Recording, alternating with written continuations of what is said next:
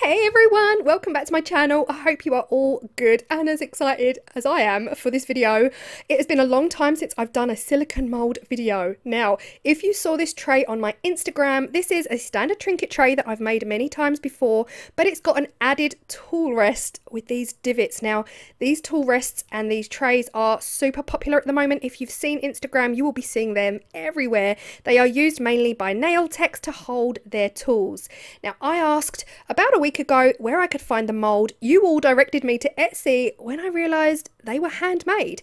And I saw that as a challenge to myself to make one. Posted a video on my Instagram. You were all so supportive and in agreement and really just urged me, pushed me forward to create a video. I already made this mould here. This is old. This silicone was a year out of date. So I've gone ahead, got myself some fresh silicone. We're going to make it properly. And yeah, got my Fimo. Haven't really got the right tools, but that's okay. It comes out okay in the end. So let's go.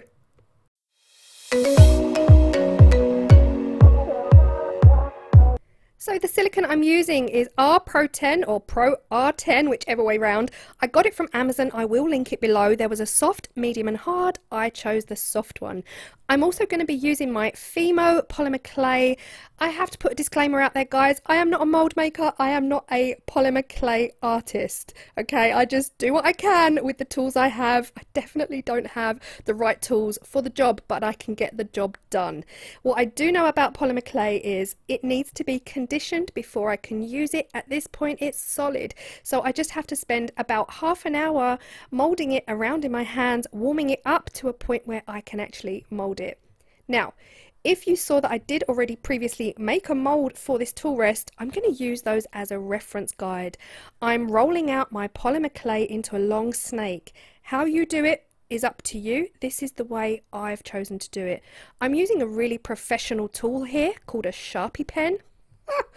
and what I'm doing is I'm putting in my divots with the pen and every now and again I come back in with two lollipop sticks and I push the sides together to get it to go back up high. Put the pen back put the divots back make it as smooth as possible. And when I'm happy I'm just cutting away the edges using my ones I made last week as a reference guide. So I just go through I do the whole thing again. I roll my snake. I use the sharpie pen to dent I, what are the words guys can't find the words today to dent them and then I'm using the lollipop sticks to bring the sides straight so I created four. They're all a little bit different. Some are wider than others. Two are thinner, two are fatter. So I put these on a baking tray in the oven at 100 degrees for one hour. Now, tell me if I'm wrong if you're a polymer artist. Tell me if that was the right thing to do.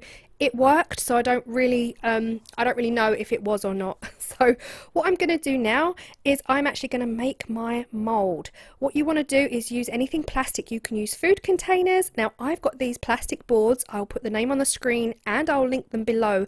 They are perfect for silicone molds and I got this I have to say I got this from the amazing Resin Ace because he was using these all the time when I used to watch his videos so what I'm going to do is rest my molds. So the pieces that I've molded I'm going to rest them on the board to get an idea of the base that I need the size of the base. I'm not making an excessively large mold.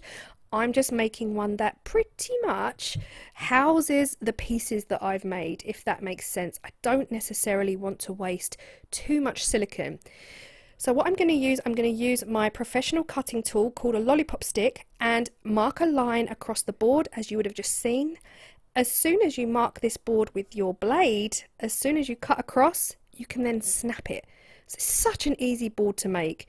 So you can see here, I just go ahead, I mark across with my blade a couple of times just to score it and then it snaps so so neatly and so easily and that is how I created the base of my mold. Here you go, so satisfying. I should have left the sound on at this point for you because it's quite, it's quite a satisfying sound. Now that I've got my base, I know that all four of my molds, all four of my polymer pieces fit. I'm really happy at this point. Now I need to go and make all of the walls. So I'm bringing that board back. I'm going to cut just less than one inch deep on all four sides to create four walls for the mold. Now here you see me, I'm sticking all four polymer clay pieces down to some sellotape. This is sticky side up. So that they stick down, they don't move, and that when I pour the silicone, the silicone won't seep down in and under those polymer clay pieces. I'm building up my four walls around the piece.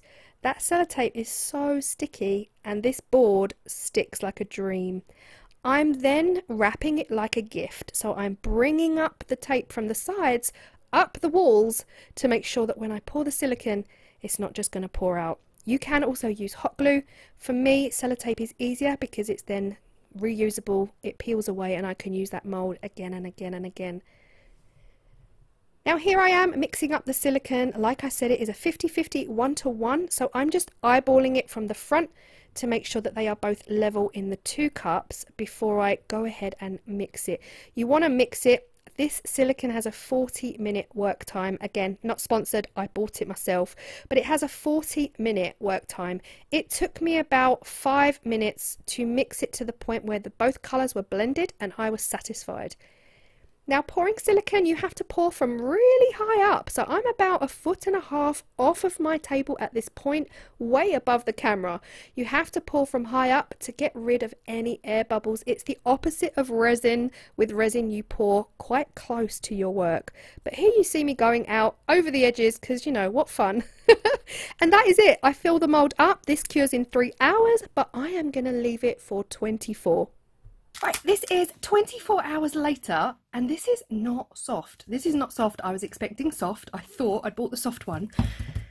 This feels quite hard, but it has set, which is exciting. So all I'm going to do now is just pull away the edges and then use my blade to cut the sellotape.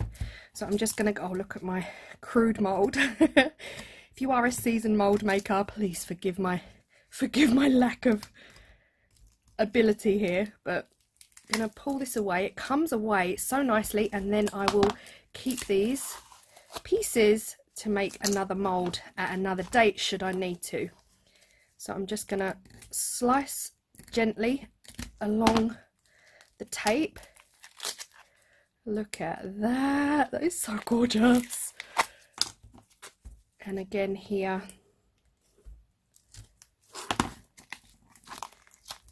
Wow. Wow. Now this side did have a lot of tape on, so hopefully it comes away quite easily. Here it comes.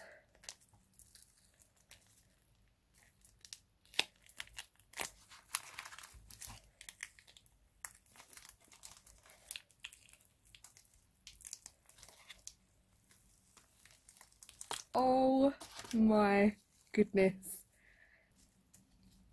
Look at this. This is so cool, guys. I get so excited, don't I, over the smallest things.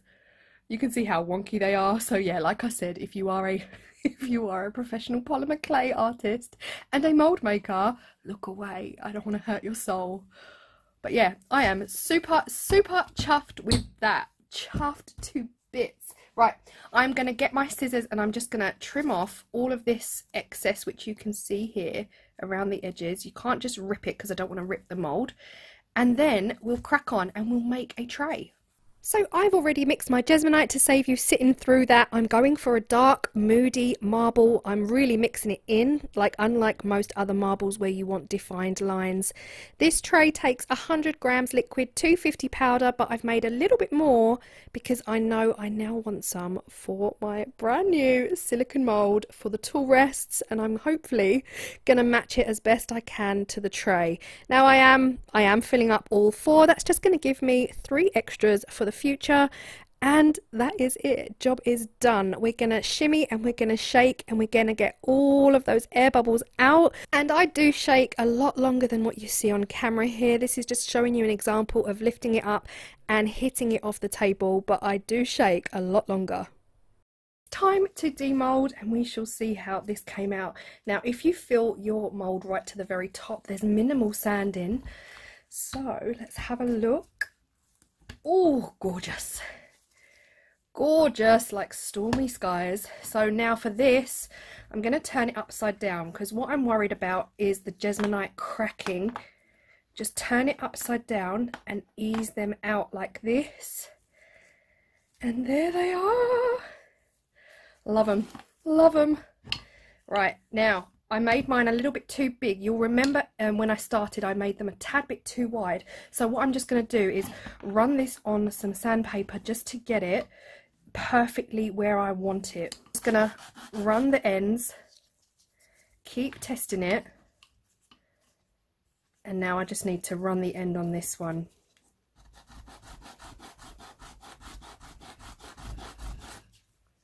I would rather do it like this than make one that is, oh, look at that. Perfect fit. Absolutely perfect, perfect fit. So now what I'm going to do, I'm going to leave this overnight to fully cure, okay? And then I'm going to use some super glue. I'm actually going to run the bottom of this over the sandpaper tomorrow. And then I'm going to run some of my Gorilla Glue super glue on here and just stick it down in place and that will be it. That will be it. I absolutely love it. Now if i had any nail tools if i was adulting properly i would have nail tools but i don't. I don't have anything like that to actually display it with all of the kit in there and i'm not going to buy it for the purpose of doing so. But i hope you have enjoyed this video and i am loving the results. I'm absolutely loving it. I i am so chuffed so so chuffed yeah i can't i can't even tell you how much i love this. So yeah i hope you've enjoyed it. I hope you found the silicone mold process um, easyish to follow. I probably did make it a little bit long-winded with all of the tape. You can find your own way. Use hot glue as well that works. But yeah i love the results. I love the fact that it's worked. It's turned out. I now have these ready to go. So i will leave these to dry so that i can use them on the next trays just sand the edges and make them a little bit neater. But yeah I hope you do drop me a comment down below and I will see you in the next video. Bye!